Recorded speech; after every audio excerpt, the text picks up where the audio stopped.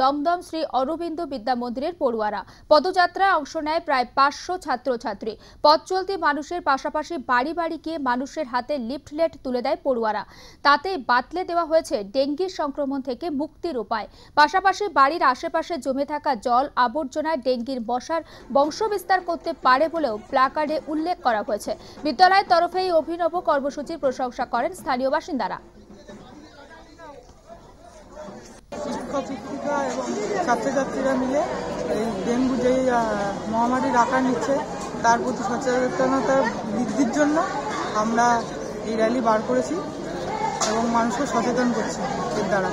চারিদিকে যে ডেঙ্গুর সংক্রমণ ছড়াচ্ছে সেই সংক্রমণ কি করে আমরা সচেতন করতে পারি সেই উদ্যোগ নিয়ে আমরা আজকের এই র্যালি নিয়ে বেরিয়ে পড়েছি। দমদমশ্রী অরবিন্দের পক্ষ থেকে কীভাবে মানুষরা এই দুর্যোগের আহ, হাত থেকে নিরাপত্তা পেতে পারে মানুষের মধ্যে সচেতনতা বৃদ্ধির লক্ষ্যেই আমরা আজ নবম থেকে দ্বাদশ শ্রেণির ছাত্রছাত্রীদের নিয়ে বাড়ি বাড়ি ঘুরলাম, যাতে ডেঙ্গুর যে সমস্ত সচেতনতাগুলো পালন করলে ডেঙ্গুটা নির্মূল হবে, সেই উদ্দেশ্যেই আমাদের স্কুলের চারদিকে আমরা আজকে বেরিয়েছিলাম প্রতিটা বাড়িতে গেলাম, ওদেরকে হ্যান্ডবিল দিলাম।